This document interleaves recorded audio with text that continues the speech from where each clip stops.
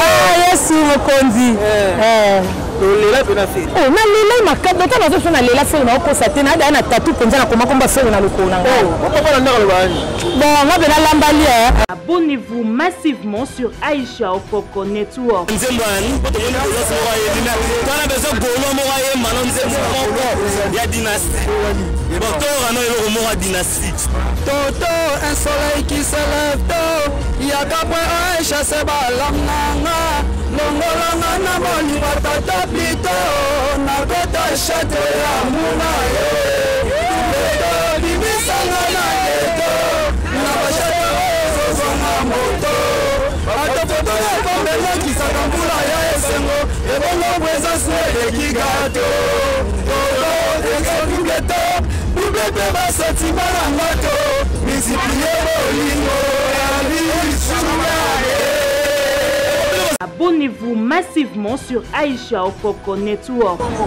5 fois, 5 fois meilleur chanteur ya mboko. Tangela miso ye ye baza abima en 5 fois meilleur chanteur ya mboko. So tangela pe mboko. Aza te. Seul papa na biso seul musicien na Congo aza 5 fois meilleur chanteur. Eza na ferre. Na 2017 meilleur chanteur ya Afrique. Oyebi yango te. Canal d'or eza ya palais, eza lokola ballon d'or. Eza ya palais.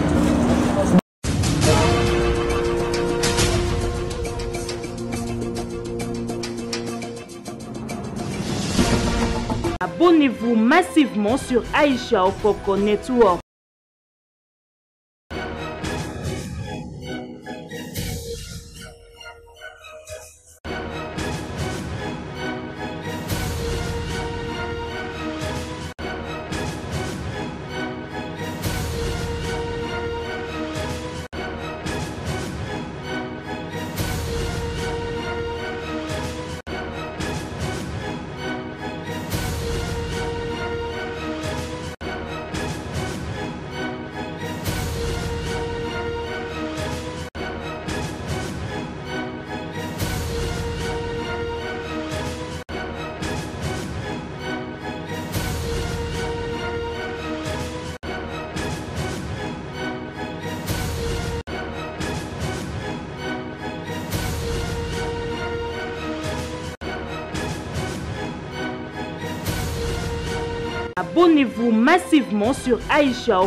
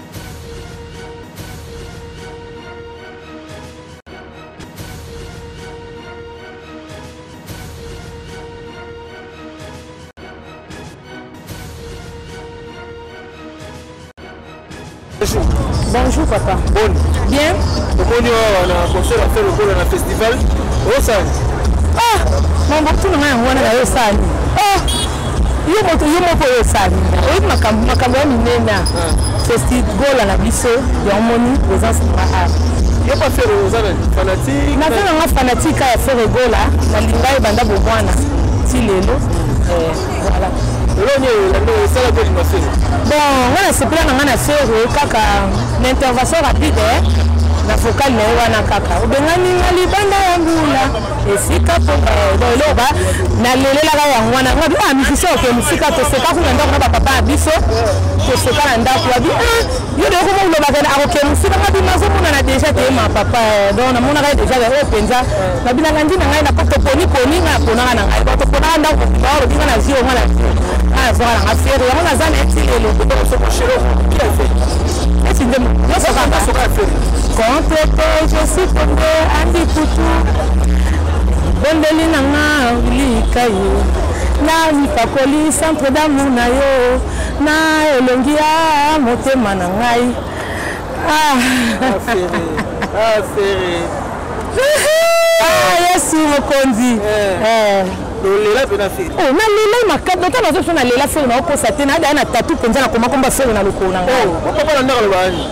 Bon, nga bela lamba lia. Eh. Abaki elongwa te tina okufa nango. Papa na ngolo bayo. Na abaki na okufa nango lamba lia. Na beta ngo depuis 2006. Osona na tele papa. Papa eh na zala ngo bana 2006. Ti lelo na olongwa te na okufa nango. Okolozi. Eh, oya linga ye, oya sepeli taki. Osoma waro wa benyo kotobi. Ba to na sona kata lokolo. Yebisanga nani. Ah, papa. nga na nakomi koma misisi nanga na lokolo soko na kata mpo babenganga kuna na okesa neti nga babenganga te papa mona kaka ndoki abikana awa na kongo tozala na de artiste toya na fere gola ndika boromi na papa herve toya mpe na fali pupa oyo baosala fierté mwa nzemba moke ya fali nzemba fani zela nzemba fali fani te zela zela zela nayebaka moko mpe esepelisanga makasi zela miesa batakuta mwete pardone yokelanga mao yango na nzembo ne Hein? Oh, éliminé te papa, bien moi net, éliminé. On va t'embouquer. On ne m'a fallu pas mouquer. Facile ya mon bébé, oh ngaye ah, oh papa, yaka koko tana motema na ngayo yeba. Bébé na ngayo mbalo yo na kobeta tolofo na yo. Petro Samuel matopo na kobeta tolofo na yo. Basusu balobaka okaba molimo nzoto yoteka mobali na nga moko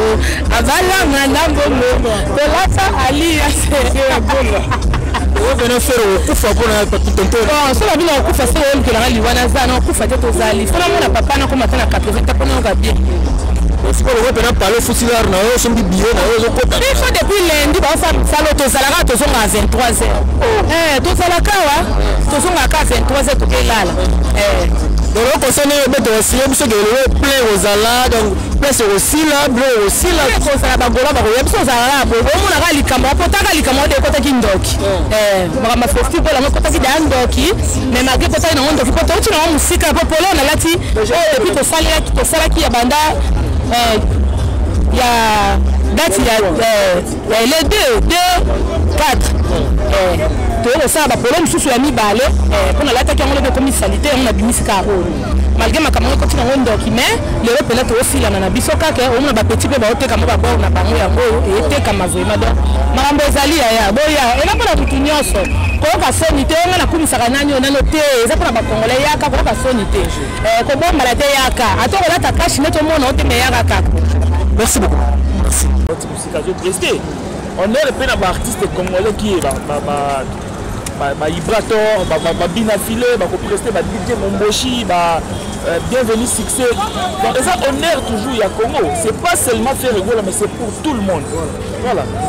tomonaki bongo euh, fali pate faka beta double stade mais gouvernement suspendaki yango fe okola mpe faalaka na tata raphael toujours na kati ya festival ezalaki un peu suspendu mais bato bakamwe directement boye babwaki palais du peuple elo moko bino bobosa ntango boloba ke non fali azalaki na double concert lakisa biso image oyo place oyo fali asali émission to bato baza na mécontentement moko boye nde basuspendre baconcert na basala eza te mais ya bagolo omoni keno ezalaki eloko oyo eza na souci ya bato nyonso tourna vie des émissions bagolo basali fere yeko basali biso mpo na kodeplore bato balobi gouvernement esalela sagesse ya salomon parce que festival eza concert privé te concert privé c'est normal mais soki oyebisanga ntango basuspendre concert ya fali lakisanga baémission ya minene oyo bawarrior basali mpo na koyoka mpasi ekoki kaka eokirango erate eza te donc elakisi ke concert ezalaki nanga mosusu omoi kwa guverne ekoteli fere ekotela fere na te parceke bandime oza mopanzi sango na concert privé na festival ya nde moko te festival eza concert privé te festival eza lokwa ne omoni lokwa bakermes ezala parceke na cadre ya organisation festival eleki kermes parceke na concert privé na festival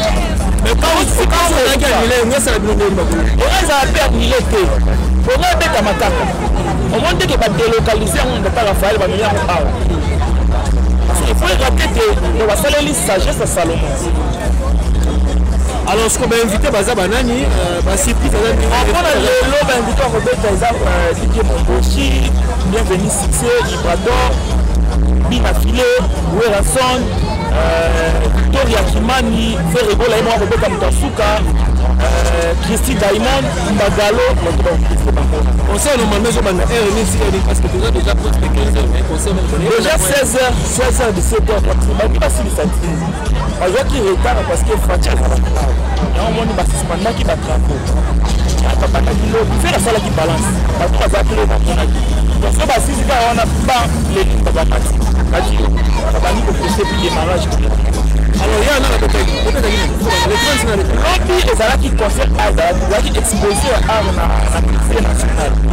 exposaki ba art soki obetaki tukomamona keno bato basalaka ba art badesinaka basalaka ba art ya baportrait banini ti bato bakendaki expose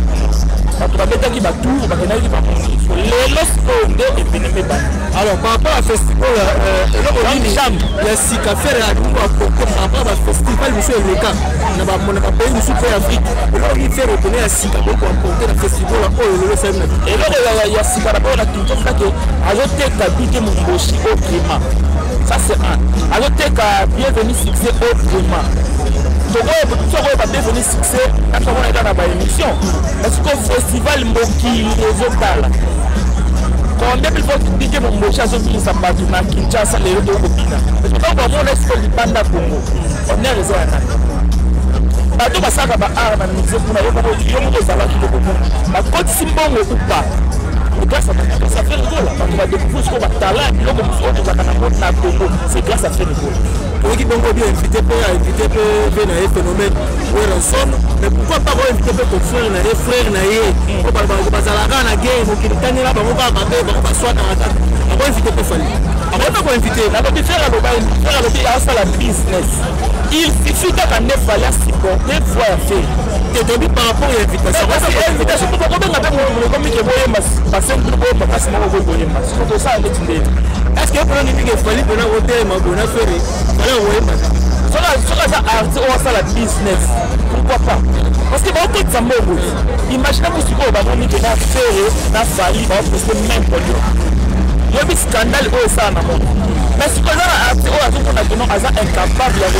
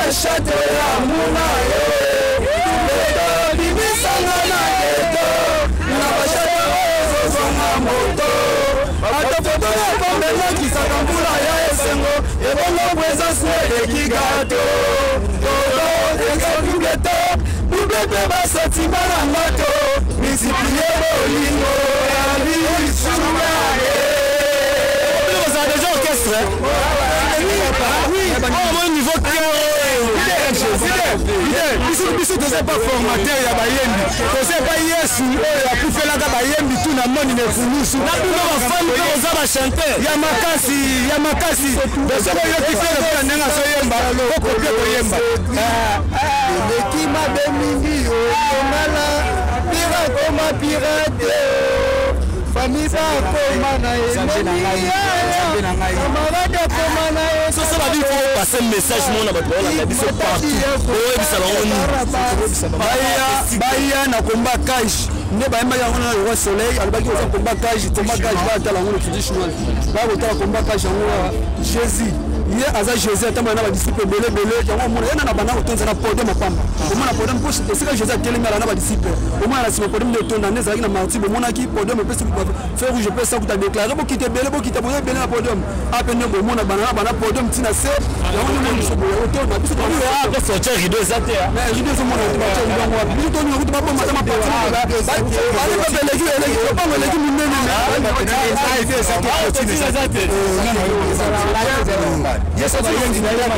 yesu bayembayemba dano toti biso okosa te kosa lekele oyo mototino ape na kosa mototini bakangi yo orchestre ya Tout chinoise, est-ce que soleil a sali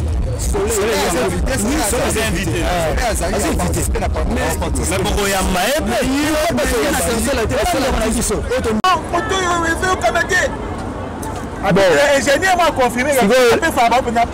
le problème ezalaka avec bainstrument ou bien babiloko oyo esalaka nde oyebi soki ototine wana oyo eza importe ezalaka miziki oyo bafere basala lelo te yokaka na spike ete omoni miziki oyo bafere basala lelo lelo tokóma mpe boke mpe place moko boye oyoka mpe nzembo ya peut-être toloba madilu oyoka bagrand prêtre bapepe kale ozomona mpo ani toyokaka bango eza mpe na bana mosusu na baina mpe lelo baozwa bacour selon ba chant oyo ya ba ya ba pepe kale donc yo musicien oza en vie oza pe leader fo olingi osala miziki moko boye ya malamu oyo génération ya génération so bayoki yango mosusu mpe baotangela yango mpo lobi mpe bango bazala bamusicien soso neti oyembi exemple nde olobi machine yo oyembi ya machine peut-être mpo bato bamona koyembi ya machine eza problème te eza parmi bainstrument baototine eza antares eza ebele neti antares eza mpe bongisaka voi ozoma so ntango oyembi nango yebaki alobi nango bana mpe bayanga mpe na naposa nakoma koyemba ate ah, nazwala nzembo peut-être ndoto ya déplique ah déplique aza wana badéplique ba bapere na biso akala bayemba nayoka ntango nzembo no mpo soyoyembaka na machine ye ntango aluka yekola yango omonaka obomimi déjà ye ozomona donc fo osala miziki nde fere gola asalaka donc eza do atie mpena voi na ye mpo gola elakisi gola elakisi gorge ah, na italien na kiitalien donc gola eza gorge donc fere mpena nde mongongo eh, omoni fere fere gola fo bazwa nde na mbongo fo bazwa nde fere gola bazwa nde gorge ya fere gola basala yango statut ah. eh, donc eza mpena ke motu nyonso soki osilisi na yo na ba ina osilisi partout okomi musicien mpo baconfirme oza musicien fo yasiko liboso ya stati ya feregola eh, fo oganga ata trois fois ah, ah, ah. so stati eleli tuntun te esala yo wana bia miziki te eh, donc mpo basala yango nde bongo na mboko cinq fois cinq fois meilleur chanteur ya mboko tangela miso oyo ye baza abima en cinq fois meilleur chanteur ya mboko so otangela mpe mbongo aza te sel papa na biso sel musicien na congo aza sel fois meilleur chanteur eza na fere na 2017 meilleur chanteur ya afrique oyebi yango te canal dor eza ya pale eza lokola balo dor eza ya pale donc mpo ye nde obima susu yango mpo babotela bapesa yango moto mosusu donc ezalaka kaka pale pate ntango banda azwa yango soki tolobani wala o oh, bolakisa baargument nayebi soka ya moke 5 fois meilleur chanteur ya mboko lukela nga sikoyo musicien oyo abima 5 fois meilleur chanteur ya mboko aza te malgré toza na kati ya festival mais tozali mpe na kati ya matanga moko ya bato babwakaka miniki keva tomonaki akufaki bon le problème sikoyo neti na nga eza nini neti nga de ma part pena komona no ndeti naza nanga artiste boye te nanga na mwa moke eh. olaka biso bamba solo so mare wana neti nga na mare oyoka kaka me koyeba ye mpena nde donga nango bendele wa koko yanga nalobi te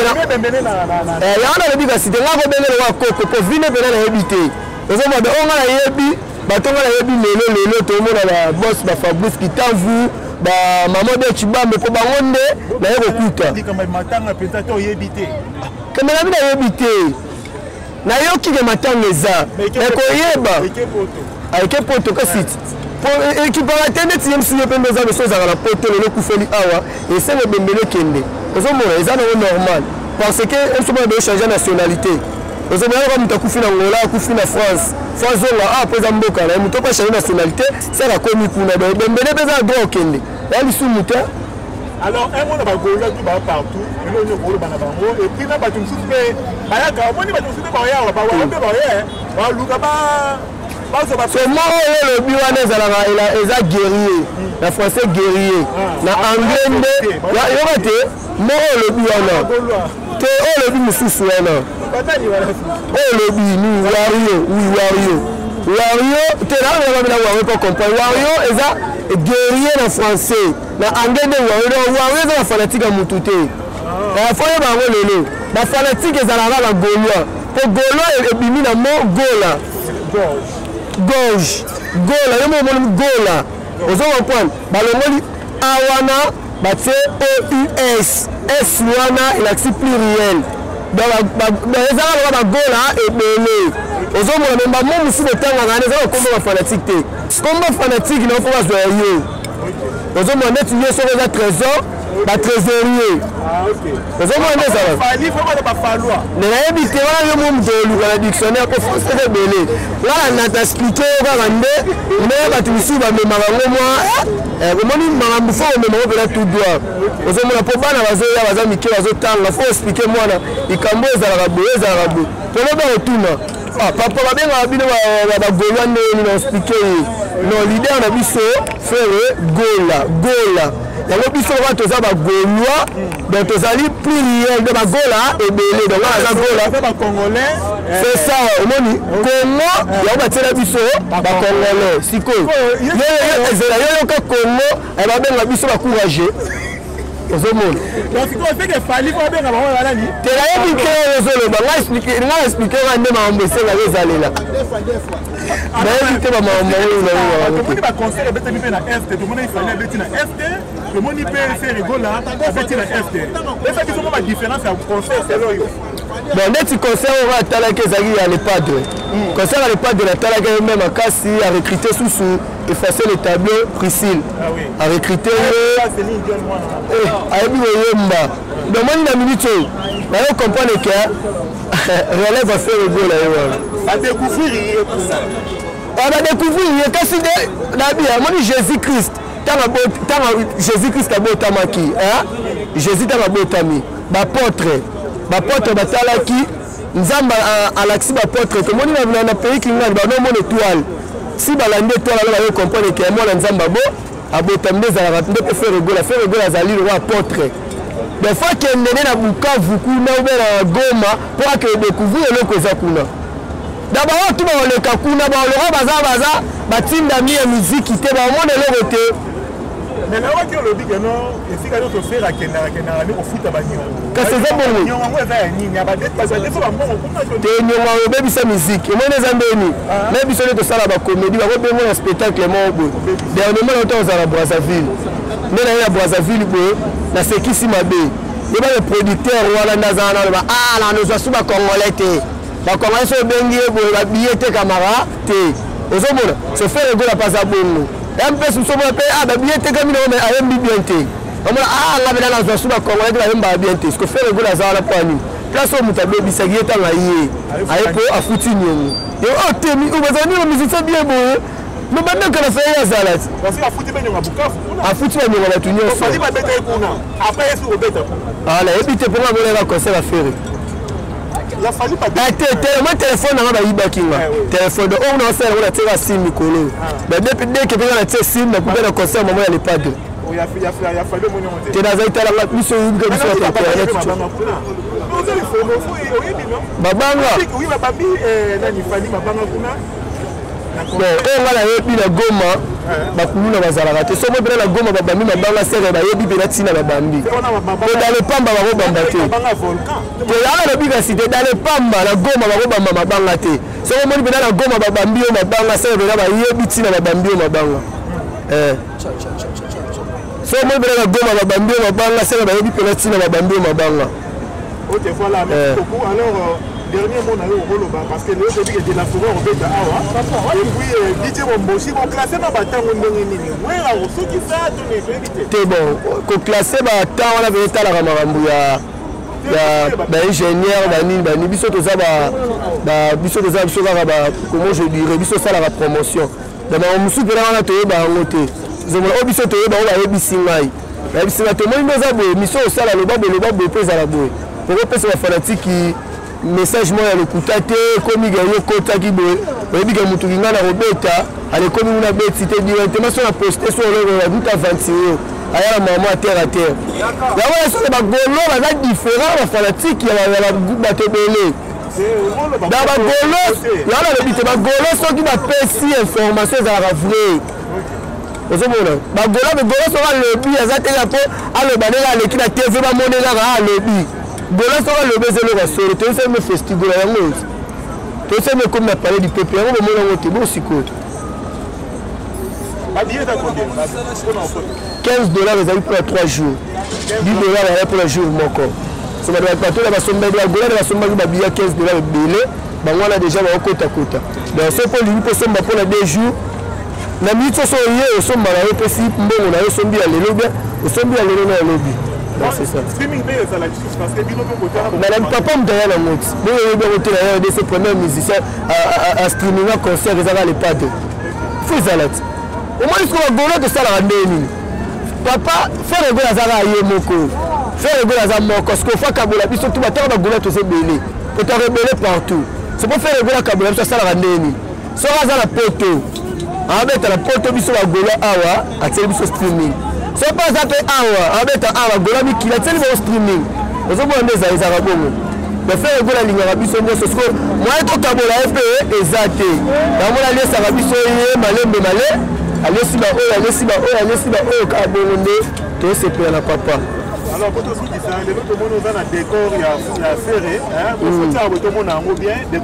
bobomba bela yango lobi lobi nayelaki bango koi koi a festigola naye nayeli bango siko papa donc nga mo nde naza boye pito star le gaulois donc naa représente bagaulois nio surtout nazwi atie papa belakisi ke biso na papa toza eloko mo eh, message eza bongo lobi wana secret omona yango lobi su mystique ntango omona nga soki alukaka mbangu mpo lobi nayaki na nkoi nazwi nkoi nasangisi na festigolo elakisi ke congo na festigolo eza eloko mo lelo nasangisi sikoyo na golois na papa baza eloko moko sikoyo lobi sikoyo naya sikoyo na bango nyonso basangisi bango esika moko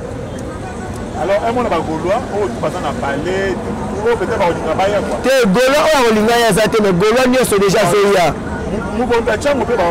obi ntango kutu naleki bango wana basilikeli ngai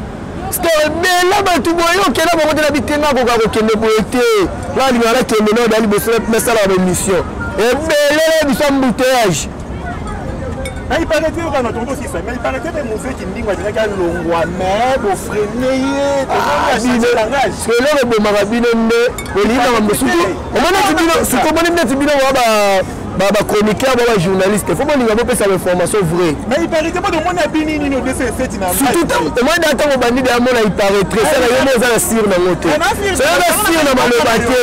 oyo wapana ba ndeni ndeti ngai nayebi muzeki ndingo aza ve ozo comprendre aza ve asalaka promotion alongwa azala na oyebana nga te po moya bela landela eza te da oyo nga na landela eza a ah, soyebisi na pito star omoni awa